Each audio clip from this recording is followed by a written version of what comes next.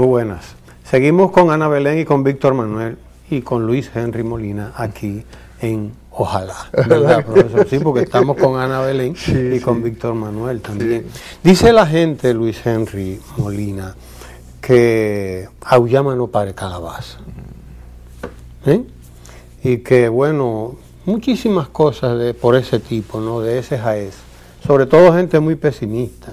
Y yo particularmente pienso en en que, bueno, hablabas del modelo europeo, etcétera, y de que los europeos tienen como 300 años también practicando esta cosa, ensayando mucho y, y metiendo la pata allí, pero además con un derecho consuetudinario muy que fue también, porque todavía creo que se usa el derecho consuetudinario, por ejemplo en Inglaterra, es muy fuerte la tradición, ¿no? En el caso nuestro es una sociedad, somos un pueblo y una sociedad muy reciente, muy reciente. Y es lógico que hay, por lo tanto, eh, hay que aprender mucho todavía. Tú lo, tú lo decías ahorita. Pero ¿hasta dónde podemos confiar en, este, en estos procesos? ¿Hasta dónde hemos avanzado? ¿Hasta dónde debe saber la gente? Incluso que estamos avanzando, por Dios, que no somos la selva de la que están hablando, todos los días. Aquí tanta gente porque estoy hoy mismo estaba leyendo los periódicos y digo bueno y dónde es que estoy viviendo eh, se me está diciendo que, que, somos un pueblo salvaje que somos una sociedad salvaje que eh, y incluso bueno cuando se trata de hacer algo nuevo como el código procesal penal este que se ha estado implementando ahora se le echa la culpa al código procesal penal. Por ejemplo he oído eh, gente de diferentes sectores, vamos a no mencionar, diciendo que lo culpable de que aquí sigue el problema de la delincuencia es el nuevo código ese que, terminó la cultura del tranquenlo y boten la llave. Entonces, no sé, es un poco una preocupación ¿no? que vengo a, aprovechar tu presencia para dejarla ahí.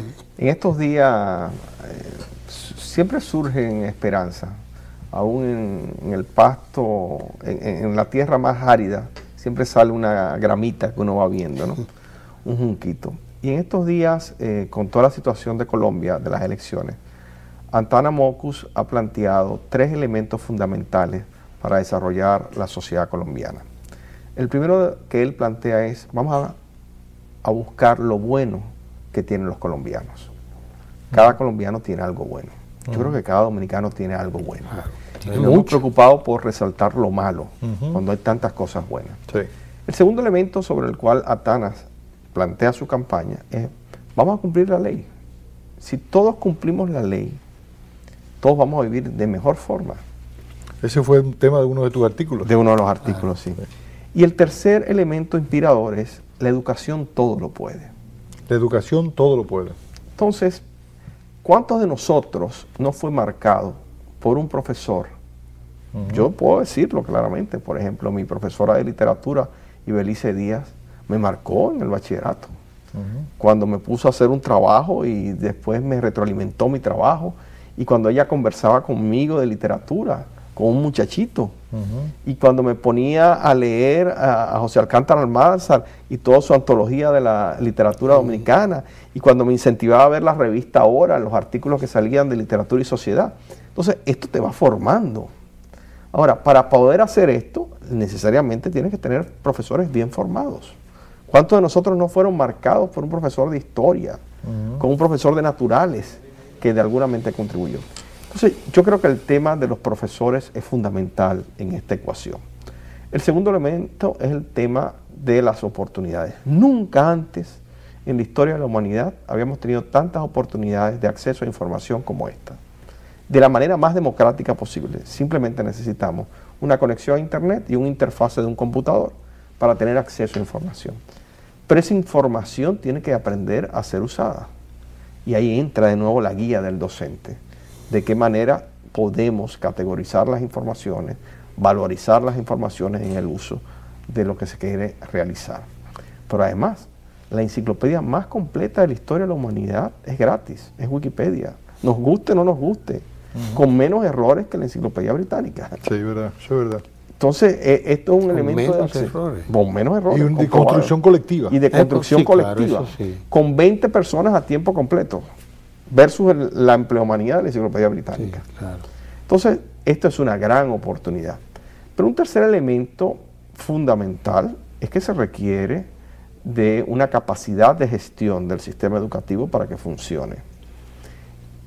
La escuela funciona por estos tres elementos y es hoy en día una escuela modelo en toda América Latina por los docentes que tiene, por el acceso a las tecnologías de la información y la comunicación que permite el acceso a información de sus usuarios y por la capacidad de gestión del proceso de enseñanza-aprendizaje y del modelo educativo que requiere la institución. Entonces, a muchas instituciones usted le pregunta a la educación superior cuál es su modelo educativo y no se lo pueden responder.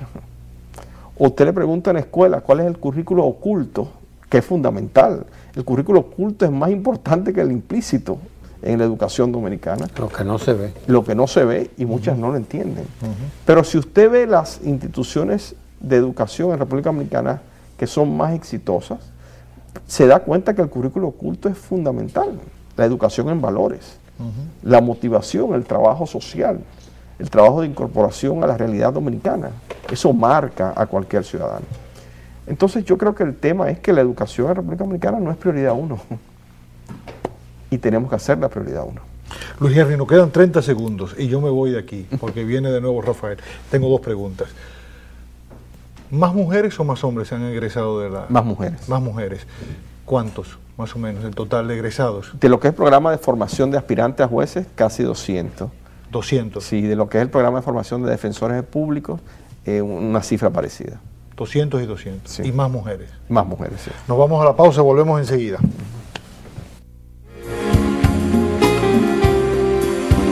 Si no me hicieran falta tus besos me tratarías mejor que a un perro. Piensa que es libre porque anda suelto mientras arrastra la soga al cuello. Voces a los cuatro vientos. Yanela Hernández, Guillermo Ricard y Ramón Tejeda. Seducción y provocación. Radioteatro, arte, política, buena música, información y sobre todo, pasión por la vida. Con un elenco de afamados actores y actrices del teatro dominicano.